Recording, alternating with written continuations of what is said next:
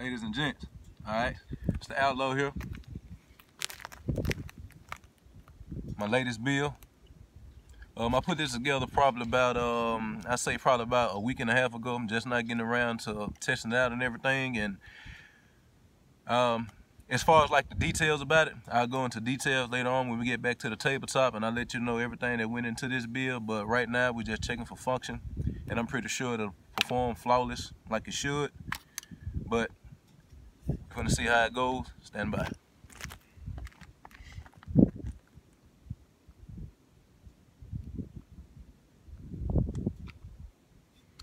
All right, coming off safety.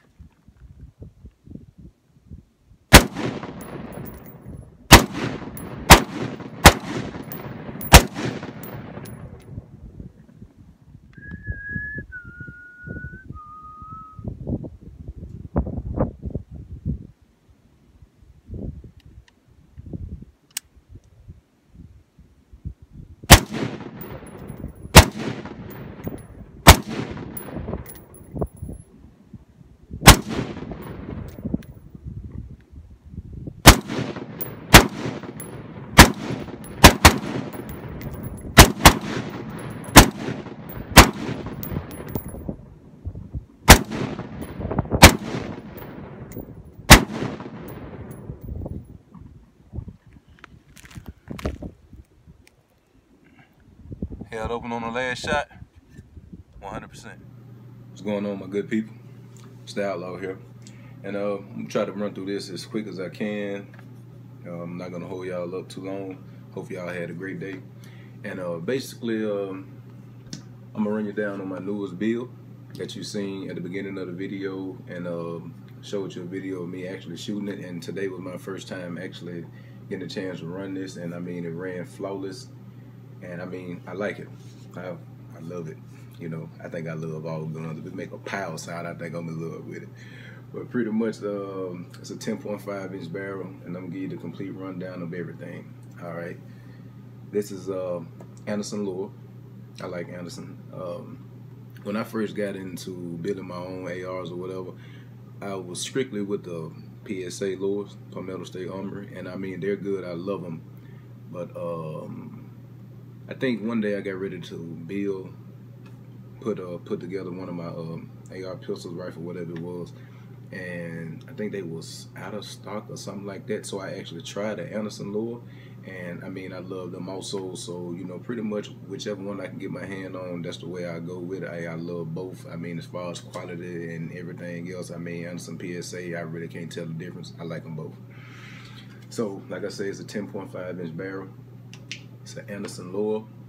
All right, and this upper, actually, actually this a Bear Creek Arsenal upper.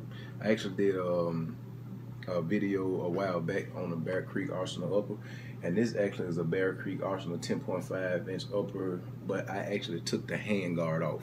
And um, reason I took the handguard off is nothing nothing wrong with BCA handguards. I mean, I mean, I love them. They do it. I mean, they they good, durable, they strong, they lightweight.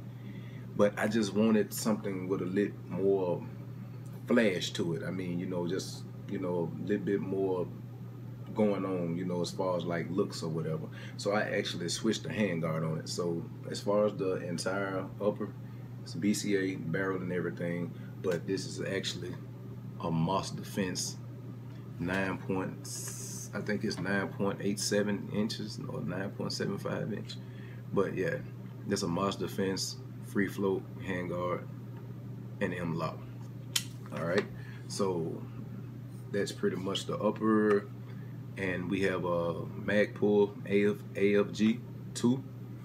And man, this this red dot. Let me let me get to this red dot. This red dot. Okay, if you go back a couple videos to when I did um, my review on my customized Ruger Charger pistol. I was mentioning the OTW red dot that you can get off eBay. I mean, I'm sorry, Amazon. And I let you all know that it's only $30 and do not sleep on it because it's a $30 option. You think it's something that you know you'll probably tip, lose zero. It's the same thing from my last video. My opinion haven't changed. I mean, they just work. There's no, no, there's nothing else I can say about them. I mean, they just work. I mean, and I said all that to say this. This is the same company. the OTW that's on my Ruger Charger pistol that I did the video on. This is the same company. This is actually an OTW red dot sight. And once again, $30 directly to your front door from Amazon. And like I say, it worked. And I don't have flip up sights on this particular pistol yet. So basically what I did, I actually had this red dot on one of my other uh, pistol bills And I actually zeroed it with the red, with uh, I actually zeroed this red dot on the gun that had the flip up sights, right? So basically what I did after I zeroed and everything on one of my other guns, I actually took it off and I placed it on the same exact slot that I had it on the other one. You know, I bolted down, tightened it down and everything just to see what the zero be, you know, close to it was on the other rifle. Perfect zero. I mean, I went out and I uh, ran this today and exactly everything that I pointed at, that's exactly what it hit. And I mean, I mean, the OTW, they just solid. I mean, I can't say anything else about them, but they just solid and they a damn good red dot. You know, pick one up. You know, especially like, you know, if it's just something that, you know, a little fun, you know, gun, rifle or whatever. And I mean, a lot of us, you know, we have multiple AR bills, you know, multiple rifles, multiple pistols. And if you actually spend three, four hundred dollars on an optic or even more, on every AR that you have, oh man, you know, not I'm not saying, you know, don't go buy a quality red dot or whatever. That's not what I'm saying at all. But sometimes, you know, man, building these rigs, I mean, they just as fun to build them as it is to shoot them. So, I mean, sometimes, I mean, we might build two or three in a month, you know, just have something to do. And you know, a lot of times you just don't want to spend a whole lot of money on a red dot. So with that being said, you can put one of these on there, and I mean they fun for plinking. And if you have a home defense rifle or anything else, or like a serious use rifle, like like uh, a AR that you keep in the car, or something, these still will fit the bill. They are dependable. I promise you. I, I mean, I can't say anything else about it. All right, now I want you guys to focus on this. All right Want you to take a good look at that. Alright, bam, don't they look sexy? Alright, now basically what this is, I mean, it's just like anything else, is uh, pretty much some company call them a linear comp. But basically a blast forward device, you know, just, you know, direct the blast and the noise away from the shooter, you know, just like your Troy Claymores and your KAK flash cans, same thing. This actually came off eBay. I paid $18 for this, free shipping. I mean, I ran out today. I mean, I ran this. I mean, you know, I think I put like 150 rounds through it. And I mean, it didn't discolor or anything. It didn't walk loose. I mean, it's I mean, it's perfect. And you know, don't get me wrong. Like I say, you know, my guns and everything, I love them. And and just being honest, I'm not the type of guy that actually just want to, you know, like, oh, you know, this company or this company, you know, like the best of everything. I got to spend top dollar. A lot of times, you can actually, you know, you can actually try other stuff that that is not dead expensive. You know what I'm saying? It can be like something that's relative inexpensive and it just work.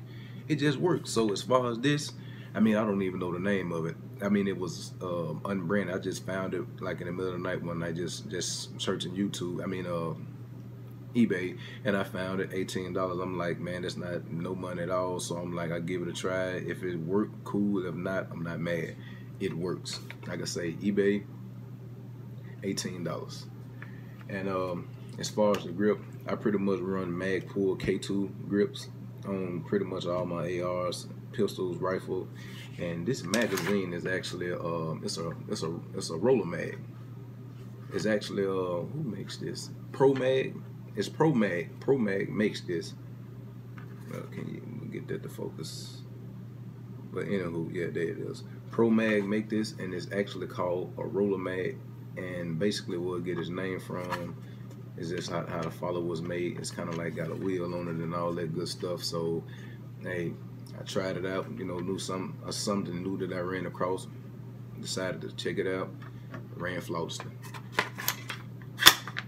All right, so at the beginning of the video, I know you've seen um, like quite a few different pictures of this same exact pistol, and basically when I was actually putting it together, my my plans were have a um, FDE mag, FDE pistol grip, FDE pistol brace.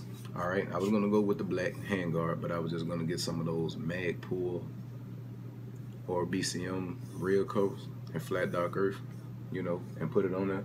All right, so that was my plan, right? So actually, when I ordered everything and was actually assembling the firearm, I had to order this KAK Shockwave blade. You know, I had everything but this, right? So in due time, in the time that it took for the the uh, flat dark earth shockwave blade to come i actually had this. And basically and this right here i mean is a great quality. I like this. This is a trinity force pistol stabilization brace. And basically it fits on just your normal uh, pistol buffer tube right? And it has the adjustment screws on the side and you just tighten these down. So actually I put this on there and man the gun looked phenomenal. I loved it. And the only reason I took it out because my initial plans was to have like the FDE on everything right? So make a long story short when the when my KAK shockwave blade came in I actually took that off. The Trinity Force I actually took it off to actually put this on just to see you know how to look. And in my opinion like I said I put the, the pictures of it at the beginning of the video in my opinion it just I mean I mean it looked okay but it wasn't exactly what I was looking for. I mean, and I think what actually threw it off because these uh, shades of flat dark earth, that the shades are like kind of different or whatever. So I think that's maybe what threw it off. So I actually decided not to put the FDE pistol brace on it. And uh, I was going to leave these two pieces, FDE, and we're to go with a black pistol brace. But of course, by me putting the KAK shockwave blade on, I had to take off this regular pistol buffer tube and put the the KAK Shockwave buffer tube on, the one with the dimples, right? So actually when I put this on and realized that that's not what I wanted, I was gonna go back to this, but that means I would have actually had to take off the KAK Shockwave buffer tube and actually put this one back on to put that on. I'm like, you know what? I'm not gonna go through all that. What I do, I just order a black one because I thought the black brace looked better on this particular setup. So instead of swapping the brace and buffer tube and going through all that trouble, I left the buffer tube on, the KAK Shockwave buffer tube, and I just ordered a um, a black Shockwave blade, and there it is and um, I like it. You know, I love it. Tell me what you guys think. And just to run back over everything, I have a, a linear comp that I ordered off eBay, $18. These Monster Fence Free Float M-Lock handguard. And I think these run, um, I think they run like $80 off a Monster Fence website. And I have them Magpul AFG2, Anderson Lower, Bear Creek Arsenal Upper, uh, the red dot, uh, OTW, red dot, kind of losing my, been at work all day, it's kind of sleepy or whatever. Roller Mag by Pro Mag, K2 Magpul grip. It's just um, as far as the trigger, I haven't did anything fancy with the trigger yet. So it's just basically a mil spec trigger that come with your lower parts kit or whatever. Nothing too fancy there. And shockwave blade with the um, KAK shockwave buffer tube and all that good stuff. And I actually got this uh, UTG riser mount right here. The only reason I have that right there because I was actually thinking about doing like on my other video how I have my 7.5 AR pistol setup I was gonna put like a RMR or a Nikon a Nikon P Tactical Spur. I think that's how you pronounce it. I was gonna actually put one. I haven't made up my mind exactly what I'm gonna do yet, so I just have that on there just in case I decide to actually put one of those reflect type optics on there. But nah, I don't know. I make up my mind. But overall, that's it. I think it came out pretty decent. I like it. I think that's badass. Tell me what you guys think. And uh, until next time, I'll see you a little later. Hope you guys have a wonderful day. It's the Outlaw, signing out.